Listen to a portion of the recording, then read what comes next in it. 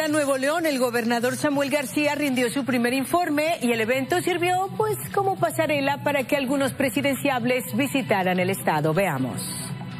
El primer informe de gobierno de Samuel García sirvió como pasarela política para gobernadores que incluso suenan fuerte como presidenciables para el 2024.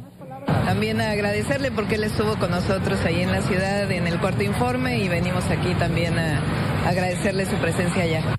De las primeras en llegar y una de las que más figuran en la precontienda, la jefa de gobierno de la Ciudad de México, Claudia Sheinbaum, llegó al Teatro de la Ciudad a las 11.23 de la mañana y destacó las acciones de Nuevo León para el desarrollo económico del país. Pues yo creo que hay mucho por venir eh, ahora con las nuevas inversiones que está planeando el gobernador y sobre todo pues este crecimiento económico que se viene para el país y que mucho tiene que ver Nuevo León. Al resaltar el papel de su compañero de partido en tiempos de crisis, el gobernador de Jalisco, Enrique Alfaro, dijo que seguirá trabajando en conjunto con Nuevo León en temas como economía, transporte y proyectos para el abasto de agua.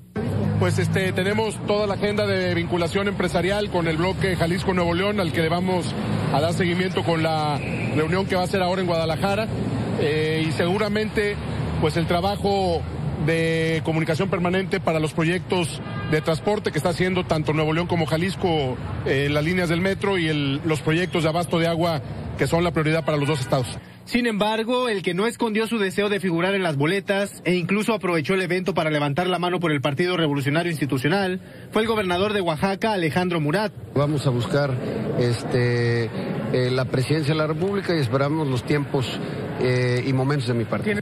En tanto, a su arribo al Teatro de la Ciudad, el gobernador de San Luis, Ricardo Gallardo, calificó como exitoso el primer año de gobierno de García Sepúlveda y dijo que hay cero polémicas sobre la negativa de traspaso de agua a la entidad. No, bueno, traemos varios temas, incluso de los que más hemos trabajado es el tema de seguridad. ¿Cero polémicas Cero polémicas, por eso venimos aquí a visitarlo. Los gobiernos de Ciudad de México, Jalisco, Oaxaca y San Luis fueron algunos de los que se hicieron presentes en el primer informe de actividades de Samuel García y coincidieron en la buena relación con quien también ha sonado como posible abanderado de Movimiento Ciudadano.